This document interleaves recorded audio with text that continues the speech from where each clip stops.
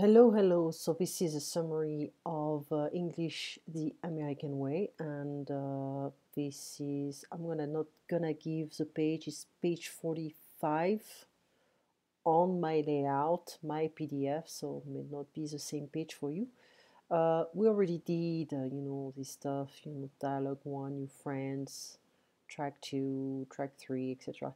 Meet uh, meet the neighbors. You know, the barbecue, the suburbs, yards Americans value, um, barking, change your mind, etc., etc. So it's very important to not neglect the, the expressions and the vocabularies. But here we are talking about the kids. Uh, most of the time in America and Canada, anywhere they have their own slang. Uh, they create, they make up different words on a regular basis. So those crazy kids, just for fun, we're gonna listen, and after we're gonna listen to the dialogue. Works. Those crazy kids. It's probably the same in the country you come from, but teenagers here sometimes sound like they speak a different language. Everyone uses some slang, sometimes, but it seems that teenagers use their own slang all the time. You may not expect to have a conversation like the next one, but you'll probably hear one, and it's fun to know what these crazy kids are talking about. So we don't have too many, you know, uh, challenging words, teenagers, slang, you know, um, crazy kids I'm talking about. Okay, so now we can go through the dialogue. Dialogue number three, track four. It's a 23 second track. Say, what's up? Nothing much. What are you up to? Nothing really. We're just chilling. Hey, you're really rocking those cool jeans. You're really styling. Thanks a bunch. They're from the mall. There's a huge sale at the cool store we really like. But hey, I can't talk now. I gotta run. Catch you later. Later, dude. So we have it here. Uh, okay, I need to rectify some stuff here. This is a bit old. Okay, you're really styling, you're really rocking those cool jeans. It's very old. Thanks a bunch. Thanks a lot would be better to say that. Thanks a bunch is more like a bit, I don't know. Um, thanks a bunch. It's a tiny bit old as well, you know.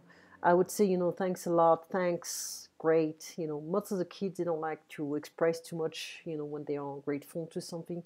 Um, they, they, they tend to exaggerate their emotions when they fake they are interested in something you know, really, you know, oh, great, you know, this kind of stuff. But most of the time, kids are,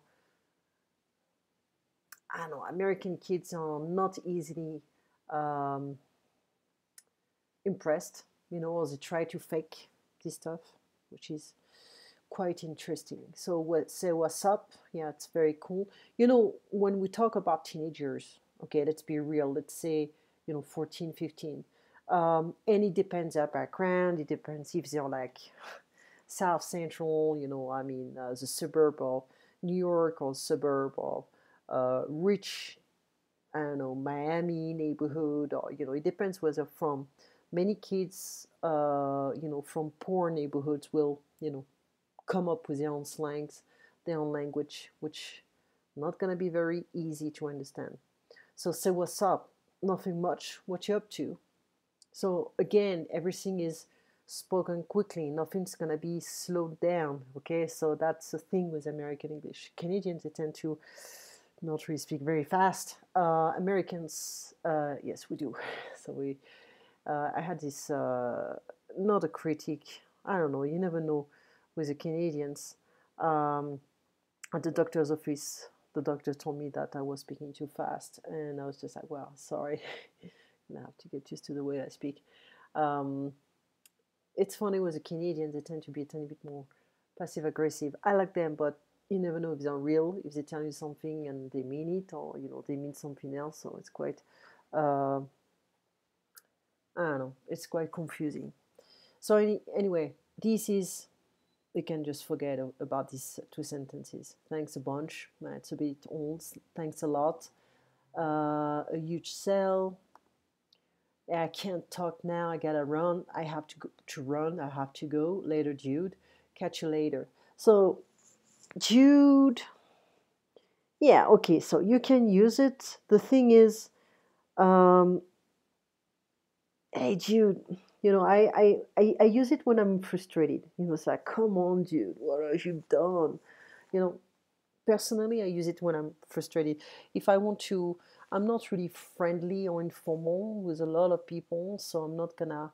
If I can make, if I make fun of someone, I can say, you know, oh, dude, come on, what have you done? Or you know, oh, you're so ridiculous, dude. See, seriously, you know, it depends the context, but I'm not often informal, so informal, so or casual. So it's very, very casual. Uh, you know, I'm not gonna start uh, speaking uh, a very uh, deep and obscure slang uh, because my age, or you know, I I don't you know don't want to impress, or I, I don't belong to this kind of young communities, you know. So focusing on another kind of slang, you know, uh, a more professional slang, you know, for my field catch you later, later, dude, you know, see you later, you know, I can just be like that, stay neutral, see you later. Um, you know, what's recommended, especially in America, you cannot really fake these kids, you cannot pretend to be one of them. So, you know, if you hear people, you know, they feel comfortable and cool using dude, man, uh, it's okay. You, you can mimic.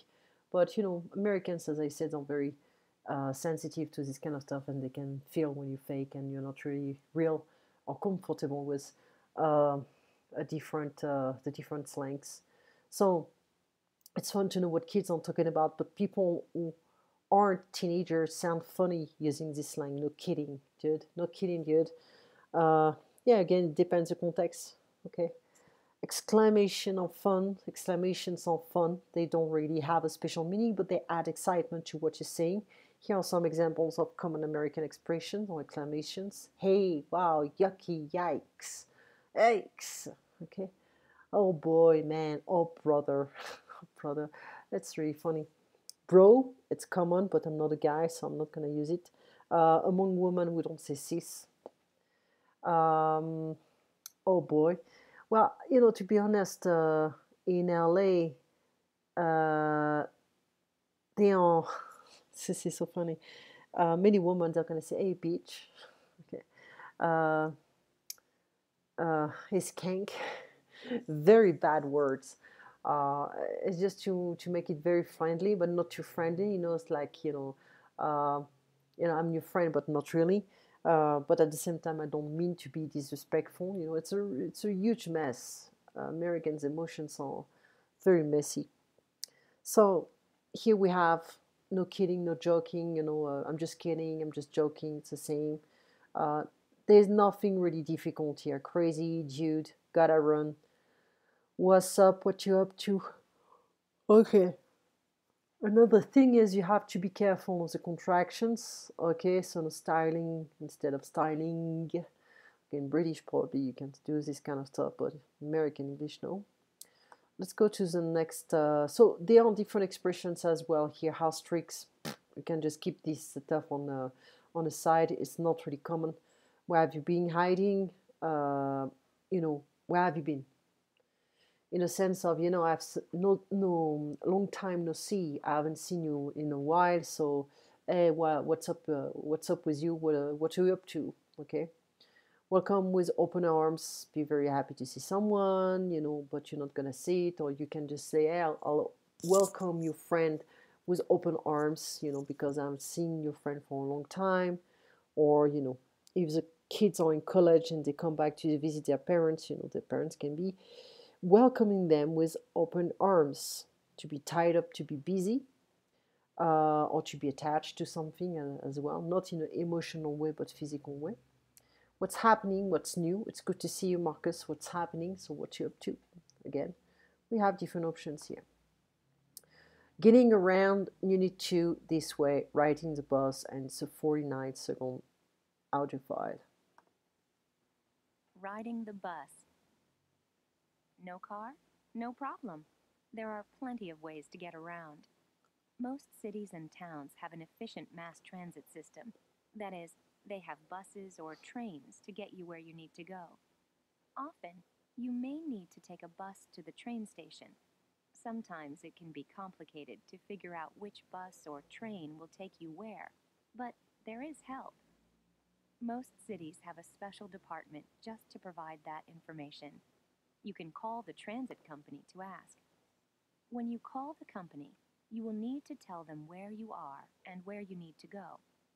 You can also ask if you need exact change for the bus. Drivers usually can't accept cash. So, well, it's okay, but you know, we buy the pass or the ticket before uh, getting in uh, the subway, the train, or the the metro or the tram, whatever. Okay, so now also uh, Uber is quite common, so you don't have to have any cash on you. You can just buy the stuff with your application. End of the story. Okay, so here concerning the vocabulary, efficient. Okay, that works. Uh, mass transit system. Okay, complicated to provide to to give okay you don't have to call you use an application you go to the website you can get the, the different uh, directions and you can see the different lines you can use etc etc etc so everything is um, simplified. It's uh, more efficient and we don't have to call anybody okay? So here checking sorry about that the vocabulary okay? Drivers usually can't accept cash yeah well uh, it's better. Don't want to carry a bunch of cash and i'm to tell you something in america sometimes uh, the, the the bus drivers they can be uh, robbed okay or mugged so they they shouldn't carry any cash on them. Dialogue number one track uh, track five the 47 audio file and it's a dialogue between the transit office and the commuter, the traveler, the guy who's gonna travel from his uh, office to to to home, home to office, vice versa. It's a phone call, so I'm saying, you know, it's archaic. We don't really call anymore, but you know, it's just imagining a scenario like this. Okay, let's play it. Good afternoon, Unionville Transit System. This is Stanley speaking. Hi, I need some travel information. I need to go to 52nd Street and Broadway. I live on 8th Street near 5th Avenue. Well, you can take the B12 bus to Mercer Street. Then you'll have to catch the B9. You can take the subway too. I live near a bus stop, so I prefer to take the bus. What time does it come? The buses run about every 15 minutes. Bus schedules are posted at the bus stop. You can also check our website. How much does it cost? You'll need $2 in change. The driver won't take dollar bills, and he won't give you change. Make sure you have exact change. Okay, thanks for the help. Have a good day. Okay, so good conversation, no problems, no complaints. So here we have this is Stanley speaking, just in case you're on the phone and you need to answer somebody's uh, phone call. So you can just introduce your name like that. Um, how can I help you? Uh, how may I help you? Etc. So it's quite common. Uh, so this person, she's a woman. She needs to travel. Uh, she needs to go to 52 Second Street and Broadway. So the, the, the streets, American streets, are quite easy. Okay, it's quite squarish, rectangular. Uh, it's predictable. It's not like narrow streets in England or in Europe. It's predictable. In Canada, to a certain extent, you have the same. Uh, so to catch the bus, to to to take the bus and to catch it, uh, you can take the subway too. Okay, bus stop, take the bus, etc. Uh, exact change. Okay, meaning like coins, you know, uh, money, money, little money, small money, petty petty cash. Um, okay, so most bus systems offer a transfer. If you need to take more than one bus to to get somewhere, you can get a free transfer to the second bus or train. Ask the driver. So most of the time, the bus uh, ticket or the train ticket or the subway ticket is valid for uh, an hour or so many companies have a 800 uh, number which is free so I, 800 number is a telephone number that will not be charged on the phone bill. Hey, we like free phone calls. So the commuter is someone who travels to and from work on the bus, train, or by car. It depends where you are. What's com- most common is by bus or subway or by train sometimes. And if you live in New York or in LA, you know, many people will take the, the car in LA, in LA. Many people will take the subway in New York, you know. So it depends how you commute. Uh, I would say, yeah, in some places it's not really recommended to take your car because it's too crowded, too too much traffic, and well, you're gonna spend a fortune on gasoline.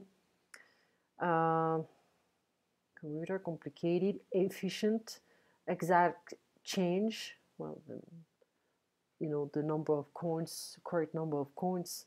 The mass transit to transportation system provided by a city, provide to give, run, come, or on schedule. Subway, an underground train system, and take catch a bus or train, get on a bus or train. Okay, and here this is funny because when we say buses, it sounds like we have two S, but it's not the correct spelling. So even though it looks funny when you write it, the word buses is pronounced buses. In fact, some people spell it with two S, just like it's pronounced. Something in English, a word, some sometimes sorry, sometimes in English a word may have two correct but different spellings or pronunciations. I tend to choose. You know, I don't like this kind of uh, spelling. Uh, I don't write as I talk, like I talk. Have to sounds like have to, have to in spoken English. So I have to go. I have to go. Okay. So don't exaggerate the pronunciation. You'll see after a while you're going to pronounce it as after, after, to, not have to, have to go. I have to go. Grammar, not complex, nothing really too complex because it's all about uh, the present tense and some contractions. Um, and going underground, so we'll go through this stuff uh, the next time. I don't believe we did that. I'm just making sure. In some cities like New York City, you can buy a fun pass. This is a special fare that you can use all day. It usually costs about the same as two trips, but you can use it as many times as you like. It's a real bargain. Okay, it's cheap. So we'll go through this, the underground, the hop on, etc., and also the taxi. So we can have two additional dialogues for the next time. It's not a big book. You go uh, through the book very, very quickly, fairly quickly. Um, let me know if you have any questions concerning uh, this uh, this book and uh, the different dialogues and the different vocabulary. There's again, there's nothing complex. It's intentional that that's where you can retain uh, the the information quickly, easily, efficiently. You have a beautiful night, and I'll talk to you later. Take care.